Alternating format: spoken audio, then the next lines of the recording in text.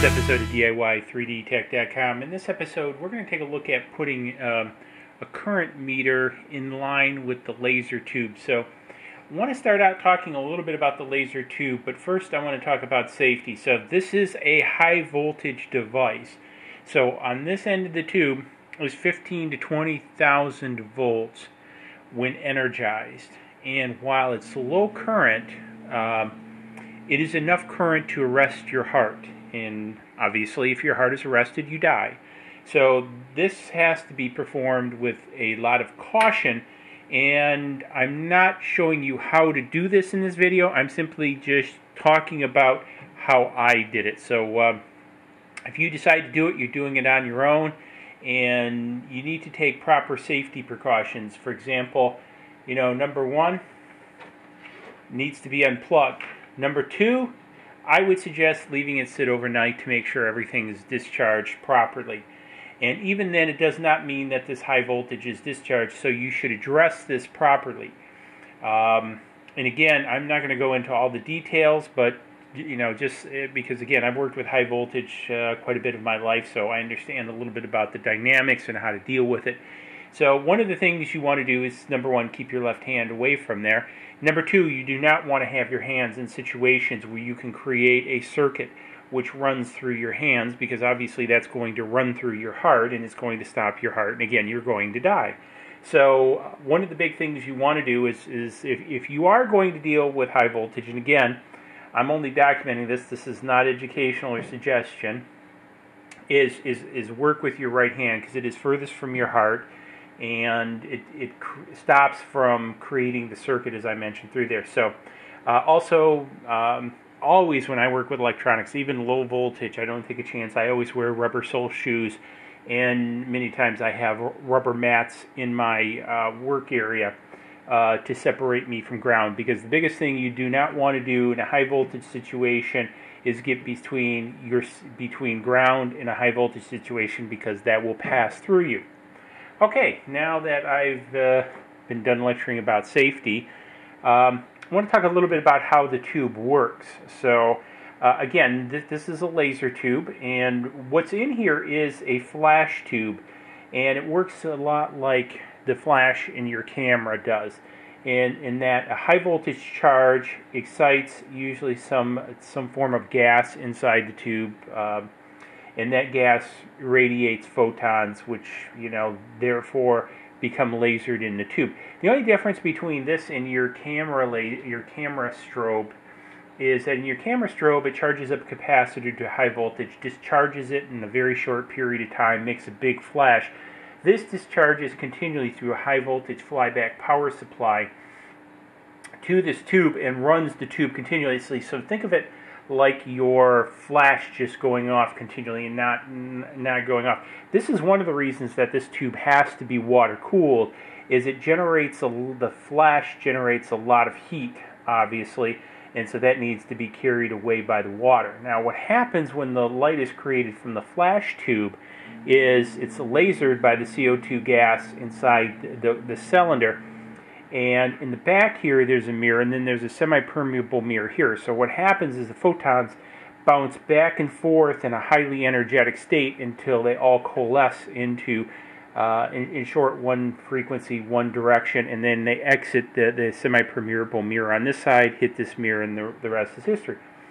This is how the laser tube works. Now, to create this strobe effect, uh, or continue, continue strobe effect, on this end, you have a large red wire, and this is your anode.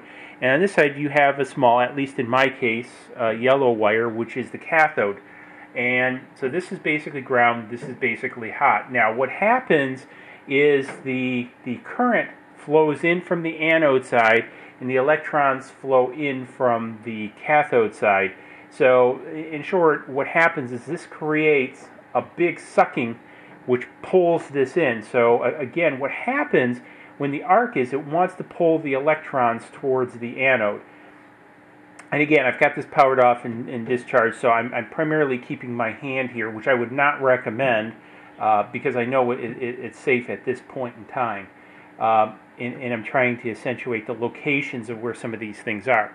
So now to to insert the amp meter or the current meter because it's only going to read micro milliamps is it's going to go between the cathode and its connection in the power supply, and because long story short, we the, the cathode is basically a ground connection, and we get over to the power supply, we're going to take a little bit of a look at this. So uh, again, I can't emphasize caution enough, and again, I'm just sharing, um, you know, how I'm doing this. So uh, let's go over to the power supply side. Okay, so we're over here on the power supply side. I've got the door opened up. Unfortunately, I, I have the digital version that doesn't have the other flip-up door like the the analog versions do. And this is part of the reason that I want to I want to put a current meter on here is in short, I get sort of a percentage reading that goes roughly, you know, from 0 to 99.9 over here and it really is not indicative of to what really power is coming out of the tube. Now again, I, have I've unplugged the machine, it's been discharged, it's grounded, etc. And so I've up on the power supply, because it's kind of difficult to see in there, I've removed this, which is a little uh, block which plugs into the power supply. And I've already removed the, the cathode wire, so here it is. Now, one of the things I had discovered about this is my cathode wire was actually wrapped tightly around the anode wire because as you can see the anode wire is in here it's this heavy red wire that's running into the power supply that should not be. While this is well insulated, um, there there would still be probably a dielectric exchange between these two. So just not good, even if there wasn't. Um, it's not good. So I, I, I'm separating that out. I've un- untangled it. And so the other yellow wire here is actually ground because what I'm going to do is I've got my my meter here, my trusty Craftsman meter um, and then what I'm going to do is I want to take I want to take this. I'm going to hold hold this. So I got this other yellow wire, and here's my ground lug. And I'm going to touch the two, and you hear the beep, and you see see I have a ground. So long story short, this plugged into this side of this block, and, and so in short, as I mentioned, it it, it, it goes to ground. Now, uh, again, don't mess with this. So it goes back to where it came from, uh, even though it is ground, so don't get any wild ideas.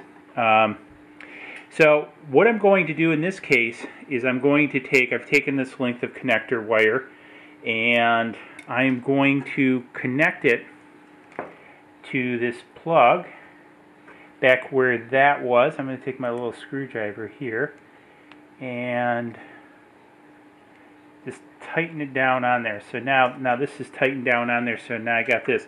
Now what I'm going to do, and I'm going to I'm going to go off camera because I kind of got to crawl. It's it's weird how you got to get at it up underneath there. I'm going to go plug this back in, and then I'm going to show you how to connect it up to the meter. So um, let's cut over there. Okay, so we're back, and I've hooked things up. So I reconnected the power block inside. I put the cover back on and ran the wires through for safety purposes. Um, I've used alligator clips to jumper this and cover as much of the um, probe as I can.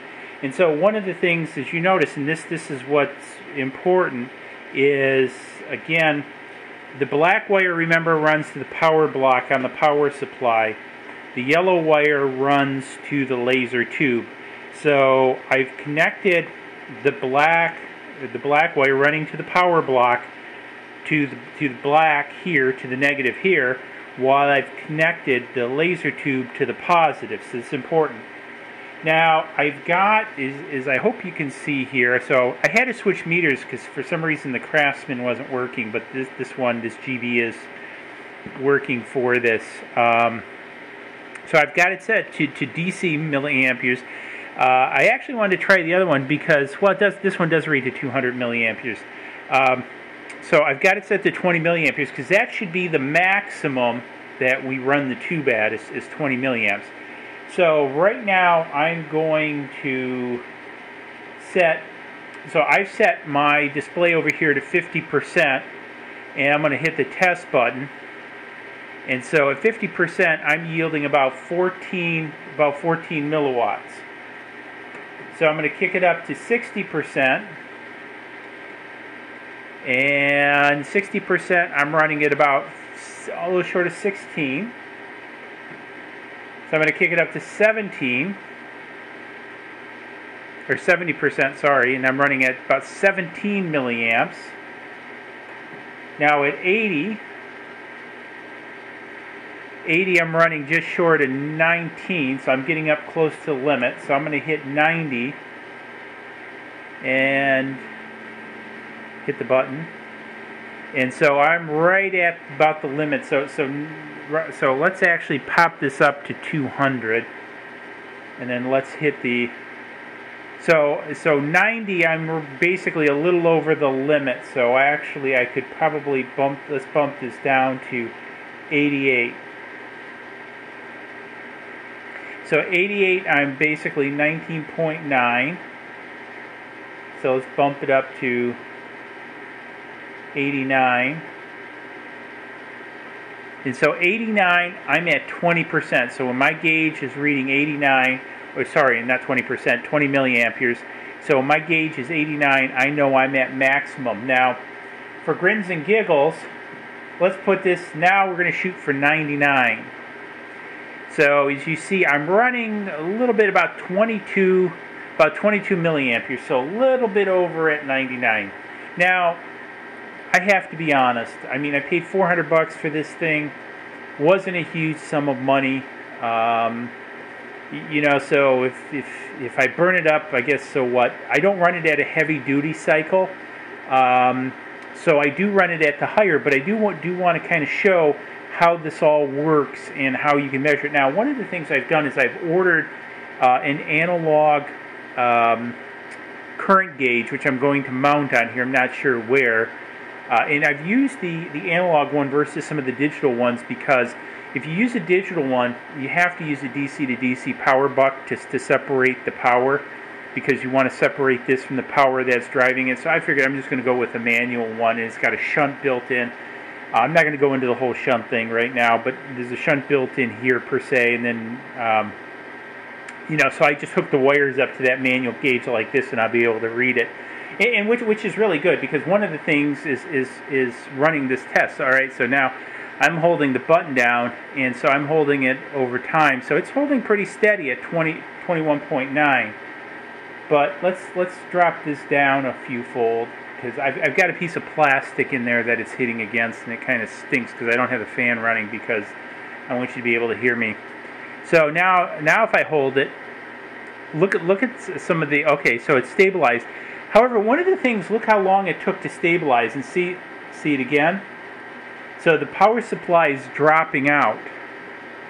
So, so this is really interesting to watch. You can really see the performance of your laser cutter through utilizing this.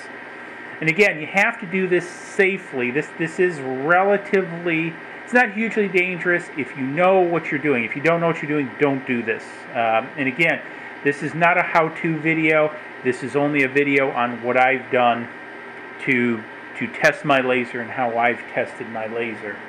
Um, so again, if I hit this, so one of the things I do want to see while I'm thinking about it before I end this video is I want to bring, so I'm now at 0, 0, so nothing happens. Now I want to come up to 10%. And so at 10%, I'm base, I, I'm just, see, see, look at this. See this? This is what I'm getting at.